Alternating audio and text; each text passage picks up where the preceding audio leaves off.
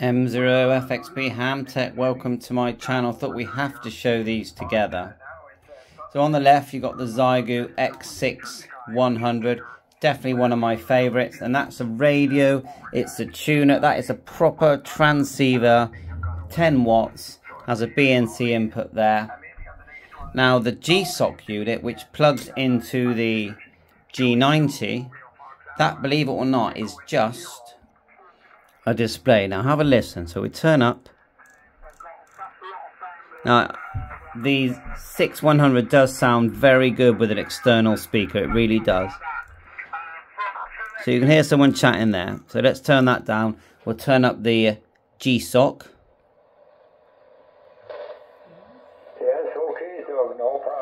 The GSOC has a built-in speaker. It can control the tuner as well. It's touchscreen. I can fit a mat, you know, have a mouse and select on the on the screen.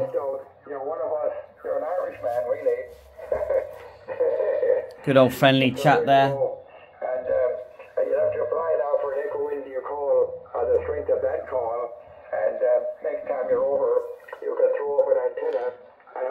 And if we tune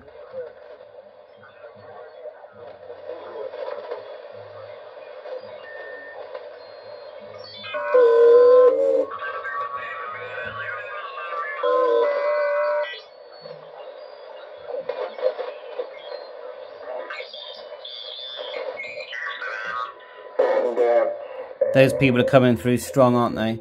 Now with the new X6 I notice they've got a wet, they've removed this again now, this audio scope. So let's turn up the Xiegu X6100. You see, there's not really loads of activity. 7160.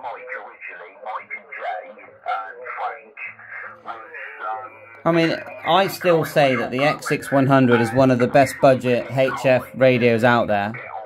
I know people talk about bugs and all that, but no, it just works great and the tuner works great.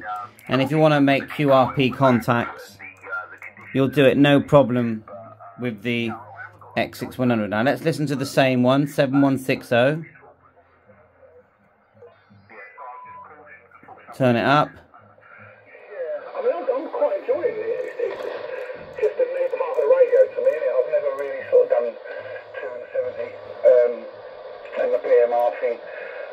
Got a bit of background hiss there.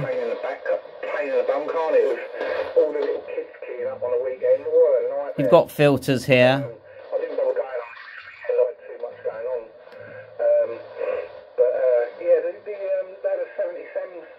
If I move away. Oh, someone else there. He's quite busy. Move away again. Try the tuner. You can see it. You know, it's working there. Move the other one, 7170. Turn this down. Volume squelch. And like I said, with an external speaker, that will sound excellent. You've even got a PTT here built into the device. They both decode RTTY, pretty sure CW and BPSK. The decode screen looks like this.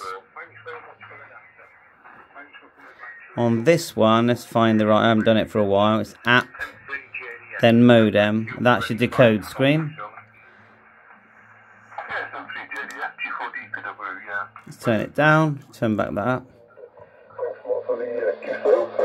So both both these devices have, have got you know have many people criticizing them. The X6100 mainly because of the of the the um you know the signals when even when there's not even an antenna connected, birdies as they call it. The thing about the GSOC, they brought it out. The firmware was quite bad with the first release and many of many people reviewed it and they were very unhappy. And I understand that completely. It's you know it's not a cheap device. There's your little X there. The price has come down a lot on this.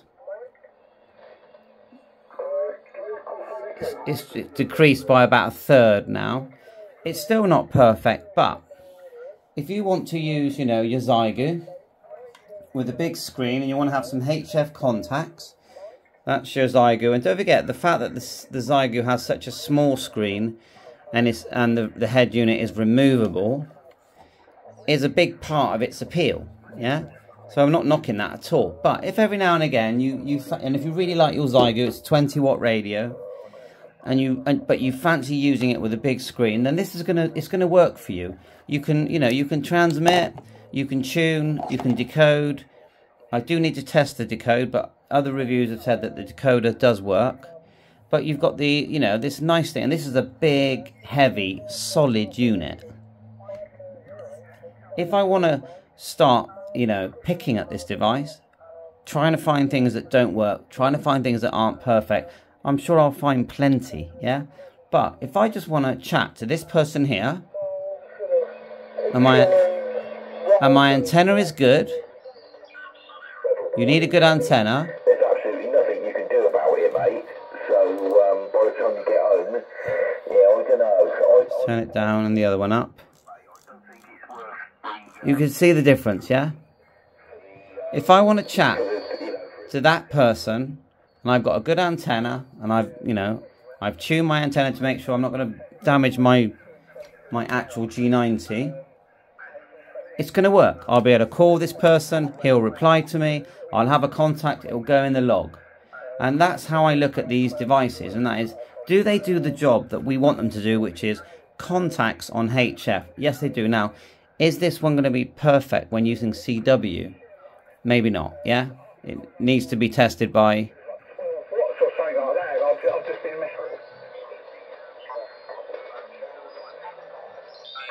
Can you believe it?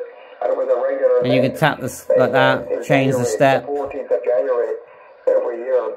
And uh, nowadays, VFO A, VFO B, at all at that time. So there you go. And I used to try SW scan. It's quite busy tonight. SW scan is doing it now. And then you can exit. You've got an equalizer.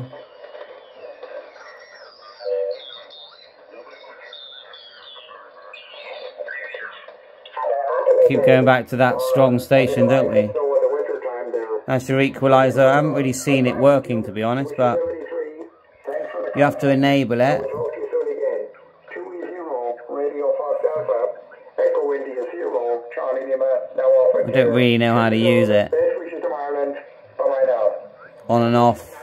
It's on now.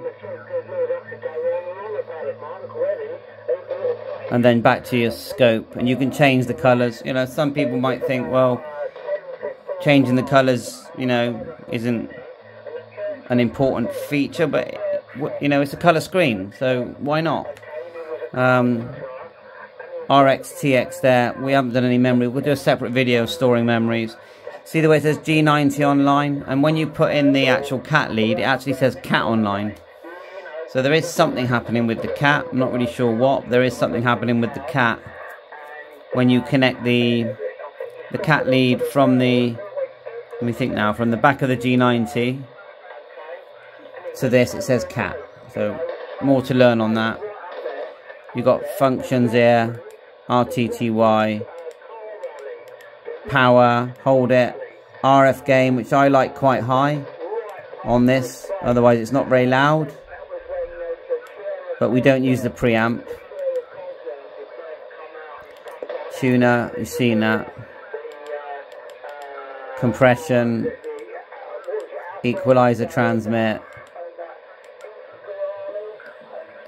That's push. That's just alternating the filter. You know, you got filters here.